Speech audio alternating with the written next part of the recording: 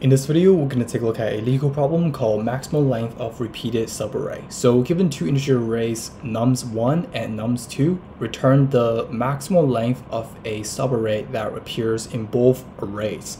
So you can see here we have an example 1. So we have nums1, which is this array right here, and nums2 is this array right here. So the output is 3 because you can see the repeated subarray with maximum length is 321. So we have 321 here, and we also have 321 right here, right? So in this case, the maximum length uh, of conse consecutive repeated subarray is basically 3, right?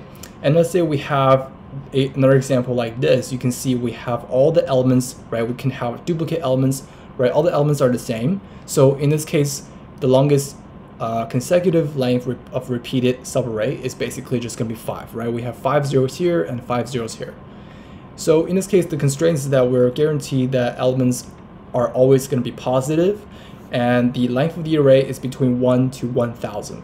So in this case, how can we be able to solve this problem? Let's say we have a example like the first one right here. So let's say we have 1, 2, 3, 2, 1, and then we have 3, 2, 1, 4, 7, right? So let's say we have those two arrays. So this is N1, right? And this is N2. So we have nums1, nums2, okay? And then in this case, you can see here, um, basically what we can do is that we can solve this problem using a brute force approach by simply saying that this is the pointer, right? Our current pointer is pointing at the first element in N2. We're trying to find 3 in N1, right? In this case, we have 1, which is right here. And what we can do is that we can basically slide our window uh, one to the right, one by one, try to figure out what's the maximum length uh, consecutive repeated subarray, right? So you can see here we have a 3 here, we have a 2 here, right? On both sides, we have a 1, we have a 1, and then the next pointer is out of bound. So in this case, the maximum that we can find is 3, right? So you can see the maximum that we can find for this position is 3. So in this case, maybe we can keep track of that using a variable, right? And then we can move on to the next element, in this case is 2, but you notice that there are two twos 2's in N1, so maybe we can start here. Okay, the next element is 3, the next element is 1, so so far we've seen the longest is is 1, right, for this value, for this value position right here. And then we try with 2. Okay, so those two are the same. And then and, and then 1, right? So we move 1 to the right, so they're all the same. And then we move 1 to the right. So you can see here, uh, we basically go out of bound, right? So you can see here, this is this is it, right? We, we found 2. 2 is still smaller than 3. So therefore, you can see we're getting, um, you know, we're getting 3 so far, right? And then you can see we move on to the next element, which you can see here which is 1. There are two ones, right? So we start with 1, and that's element is 2. This element is 4. They don't equal each other. So what we're going to do is we're going to choose another one, right? So, so far we have 1. The longest for this position is 1. So this one right here is also going to be 1, right? So you can see here, um, if we were to solve this problem using this kind of approach, right? Worst case scenario, all the elements are the same. In this case, we have to go with each and every single position, right? So this was this, this was this zero, and this was this zero, and this was this zero, and so on. And for, for each of those positions, you, we also have the slider pointers across to figure out what's the maximum length of you know repeated subarray. So in this case, you can see if we were to solve this problem using this kind of approach, right? In this case, let's say we have you know it's going to time complexity is going to be big O of n n1, right? The size of n1 times the size of n2, right? Because for each and every single element in n2, we, we find that element in n1. And then what we also have to do is we have to slide our pointer across the uh, both array, right? So for example, like this 3 right here, in this case, we have to slide our pointer across both array. In this case, it's going to be the minimum, right? The min out of n1 or n2 right? So you can see here the time complexity is n1 times n2 times the minimum length between n1 or n2. So now you know like what's the worst case, right? So now we know we know the worst case is basically going to be like this, right? n1 times n2 times the minimum out of those two, right? So how can people to, you know, optimize the time complexity, right? So in this case, you can see here we have a lot of duplicate com computation because you can see here when we are visiting three, right? We want to know what? We want to know what's the maximum length of the repeated subarray at this position, right? That's what we want to get at this position, right? So in this case, you can see we slide our window or slide our win uh, pointers across the array, right? So we have two, and then we have the one, but you can see here we already know what's the maximum length of repeated subarray at this position, because in this case you can see it's already, right, at this position it's already two because we already visited one, right? One has one uh, longest length of repeated subarray. At this point, two is has two, right? So in this case, you can see we already have uh, computed for two, right, for the remaining subarray already. So in this case, why do we need to compute that again, right? So in this case, uh, what we have to do instead is basically what we have to do is we just have to calculate it once and then be able to cache this result uh, using like some kind of 2D array, just similar to what we did in the longest common subsequence, right? And then basically we're comparing, so, so treat this as like a subsequence, right? So subsequence, we're basically comparing this subsequence with this, right? Oh, they're the same. Let's try, let's check with the remaining, right? If they're not the same, like for example, in this case, like for example, this one, right? If they're not the same, right? We're maybe trying with this subsequence with this subsequence, right? Or maybe if, if we can also try with this subsequence, comparing with this subsequence, right? We're basically trying with all the options, right?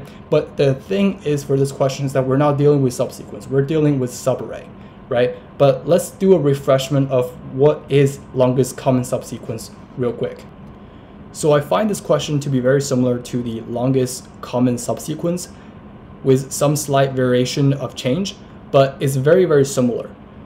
If you haven't checked out my other video called longest common subsequence, I highly recommend to check out that video first before this one. So what's the what's the difference between the longest common subsequence approach compared to the current problem solutions approach?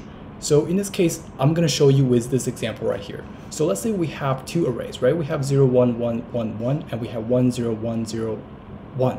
Okay, so you can see here we have our DP table. And let's say we're gonna solve this problem using the, let's say we're trying to find the longest common, uh, or longest common uh, consecutive subarray, right? Using the approach that we did in the longest common subsequence. In this case, for the top-down approach, this is what we're doing, right? First, what we're gonna do is, as you can see here, if I start to run, you can see First, what we're trying to see is that we know those two elements, they don't equal each other, right? So one, one, they do equal each other. So what we do is we check the remaining array, right? Basically, you can see here, we're basically trying to see what's the longest uh, common, uh, you know, common subsequence, right? In this case, the longest common subsequence for the remaining array, which is from index zero to index three, right? So you can see that those two elements right here, they don't equal each other. So what do we do? For longest common subsequence. In this case, what we do is we, we basically do a DFS uh, to compare this longest, com or in this case, this subsequence with this subsequence right here, right? You can see here it's 011 with 1010, right? So in this case, we're gonna we know that those two doesn't equal each other. So in this case, we know also that know that those two doesn't equal each other, right? We can go with different path. You can see this is our DFS, right? And then we know that those two equal each other. So zero, right? Zero in this position, 0 with 1, 0, 1, 0 is 1, right? So we know that those two equal each other, so we have 1 so far. And then you can see this is basically how we find this, the longest subsequence, right? Basically, to find the longest subsequence, what we're basically trying to do here is we're trying to figure out what's the longest common subsequence that we have seen so far at this current position, right? That we have seen so far at this current position, not the consecutive. So let me just continue to play this so you get an idea right? So you can see we're basically doing the DFS. Once we hit the base case, it will return back our answer, right? And then we continue to update our branch. And at the end, you can see we're getting three, but the result for this example should be two. Why? Because you can see 0, 1 is right here, right? You can see inside this two array, the only two common things that they have is 0 and 1, right? Those 0, 1 and this 0, 1, they're, they're the same and as well as they're so they're the, same uh, common subarray, right? Or you can say this 0, 1 with this 0, 1 right here, right? So they're the same. So in this case, the, the result should be 2. But the thing is, we're getting 3 because you can see here at this one, those two ones, right? If we were to revert back, you can see this one right here is 1, right? Those two ones are equal to each other.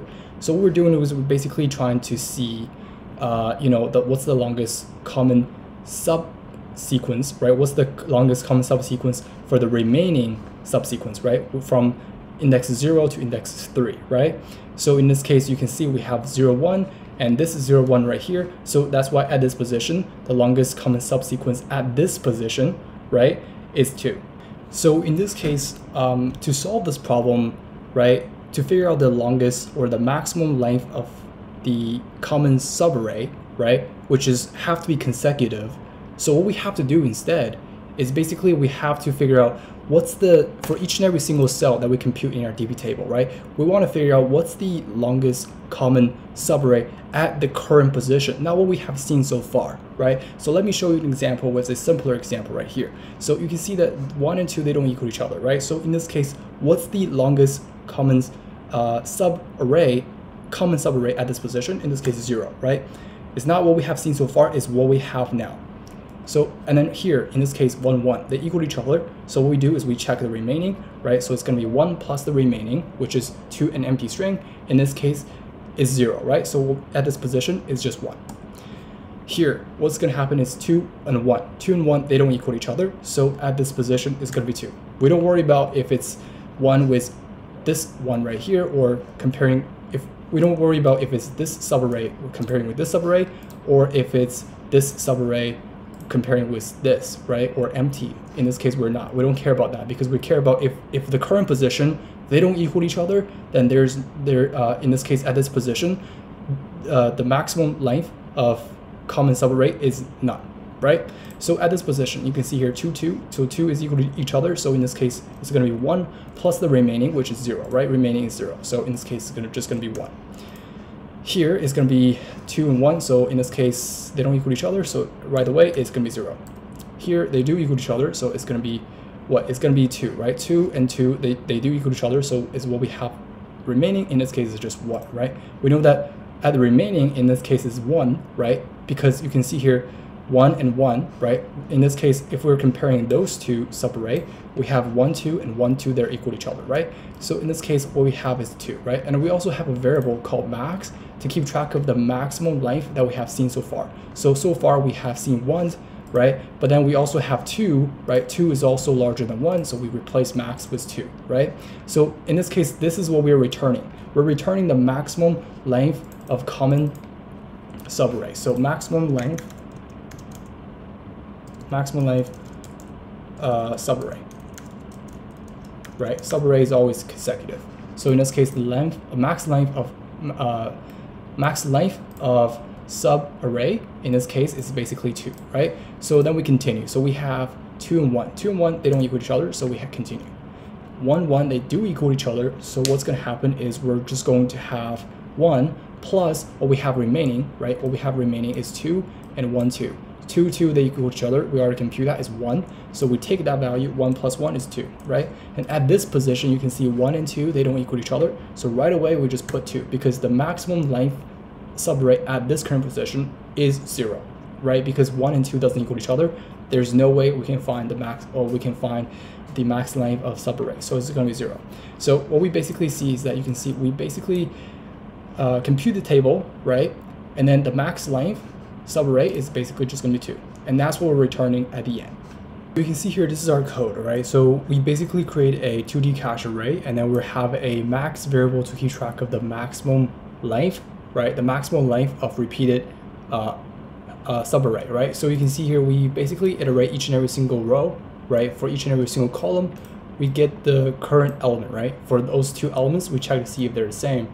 If they are the same, now what we do is we basically check the remaining uh, subarray to see if they're they're the same or or what's the longest right? If I want to figure out what's the longest or the ma- what's the the maximum length or in this case yeah the maximum length of the current position right? The maximum length of repeated subarray for the current position I need to know the remaining elements plus the current element because the current element are the same right? This will give us the maximum length right of the repeated elements at the current position. And what we do is that we basically compare that with the max value. Whoever has the max value will be the new max value for this variable. And at the end, we're basically returning the max value, right?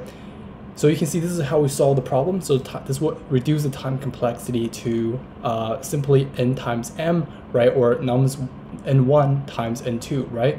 So this is basically how we solve the problem. So there you have it. Thank you for watching.